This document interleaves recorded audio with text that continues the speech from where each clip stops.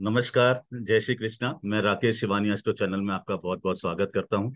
और जैसा कि आपको मालूम है कि हमने ज्योतिष ज्ञान के नाम से एक सीरीज़ चलाई है, जिसमें बहुत ही बेसिक से लेके एडवांस एस्ट्रोलॉजी तक हम लोग पढ़ा रहे हैं। तो उसमें अभी गोचर चल रहा है काफ़ी समय से। गोचर के बारे में मैं आपको बता रहा हूँ, गोचर के डिफरेंट रूल्स बता रहा हूँ अलग अलग तो अभी उसी श्रृंखला में आज हम आगे चलते हैं और आज पढ़ते हैं दोहरा गोचर। दोहरा गोचर क्या होता है?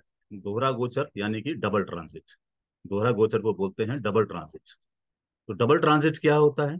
इसके लिए बड़ी इंपॉर्टेंट चीज़ है। डबल ट्रांजिट से ये एक ऐसा ट्रांजिट है, अगर ये लग जाए तो वो भाव एक्टिव हो जाता है। जिस भाव पे लग जाए, वो भाव एक्टिव हो जाता है, चाहे दशा हो या ना हो। इसमें एक खास बात यही है। कि जिस भाव को गुरु और शनि एक्टिव कर दें, वो भाव बिना दशा के भी एक्टिव हो जाता है और उस भाव के फल आपको मिलने शुरू हो जाते हैं। आप सोचते हो कि भाई फल तो भाव तो हमारा ये वाला एक्टिव है, चौथा भाव एक्टिव है तो हमें तो प्रॉपर्टी के व्हीकल के, माता के, सुख के, मानसिक सुख के ऐसे रिज़ल्ट मिलने चाहिए। हमें अचानक तीसरे भाव का रिज़ल्ट कहाँ से मिल गया या हमें अचानक दूसरे भाव का रिज़ल्ट कहाँ से मिल गया?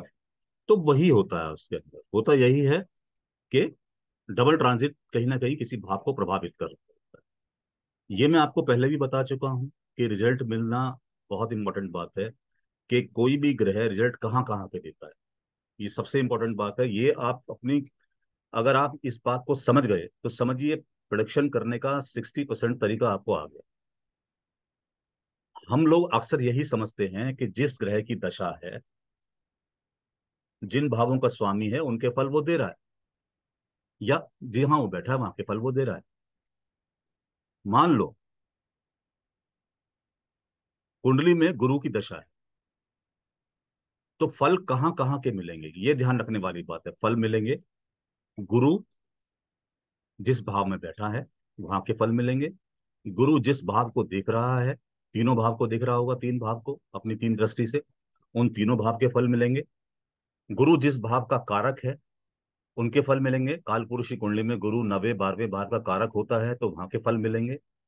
गुरु की दृष्टि के फल हमने ले लिए। गुरु जिन भावों का स्वामी है, अगर उन्हें कोई ग्रह नहीं देख रहा है, ना ही कोई ग्रह वहाँ बैठा है तो वहाँ के फल मिलेंगे। गुरु जिन जिन भावों का कारक है, कारक की क्या पोजीशन होती है कि कारक बिना दशा के रिज़ल्ट देता है। गुरु कुंडली में दूसरे भाव का कारक भी होता है कालपुरुषी कुंडली में। पाँचवें भाव का कारक भी होता है, नवे भाव का कारक भी होता है, ग्यारहवें भाव का कारक भी होता है। तो इन भावों के रिज़ल्ट भी आपको मिल सकते हैं साथ साथ में, चाहे दशा हो या ना हो।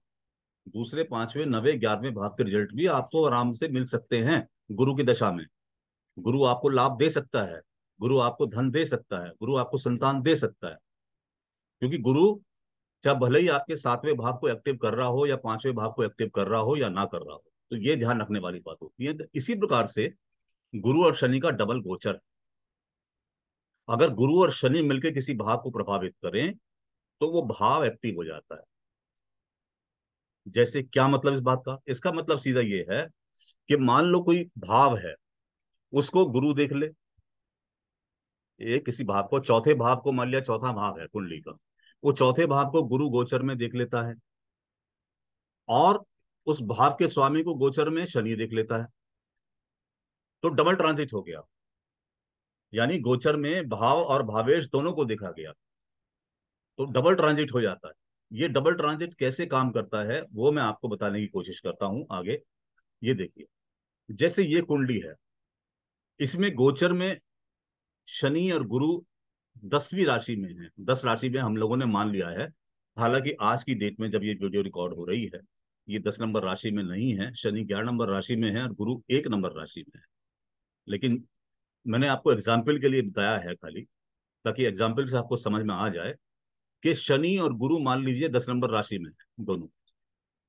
तो वो किस भाव को प्रभावित कर रहे हैं और किस भाव के स्वामी को प्रभावित कर रहे हैं? तो अब आप ये देखिए, शनि की दृष्टि कहाँ कहाँ पर है। शनि जो है, एक तो नवे भाव में बैठा है, इस भाव को प्रभावित करता है। एक, तीसरी दृष्टि से एक, दो, तीन, ग्यारहवें भाव को प्रभावित करता है। सातवीं दृष्टि से तीसरे भाव को प्रभावित करता है। दसवीं दृष्टि से छठे भाव को प्रभावित करता है। और किसको प्रभावित करता है? शनि यहाँ बैठ के किस किस को देखेगा? चंद्रमा को देखेगा। चंद्रमा कौन है? थर्ड भाव का स्वामी है, उसको प्रभावित करता है। और शनि यहाँ बैठे किसको देखेगा? शनि की दृष्टि यहाँ बैठ के, सातवीं दृष्टि यहाँ जाएगी, तीसरी दृष्टि यहाँ जाएगी तो चंद्रमा को देखेगा, वो हमने ले लिया, थर्ड एल को देखेगा। सातवीं दृष्टि से किसी को नहीं देख रहा है, सात, आठ, नौ, दस दृष्टि से केतु को देख रहा है, उससे कुछ नहीं है। शनि यहाँ बैठा है सूर्य के साथ सूर्य कौन है? सूर्य पाँचवें भाव का स्वामी है। तो सूर्य भी इसके अंदर ले सकते हैं।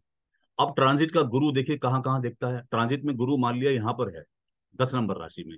ये कुंडली जो है, आपके जन्म कुंडली है। और ट्रांजिट में हम लोग मान रहे हैं कि गुरु आपका दस नंबर राशि में तो हमने ट्रांजिट का गुरु और शनि दोनों यहाँ प्लेस कर लिए।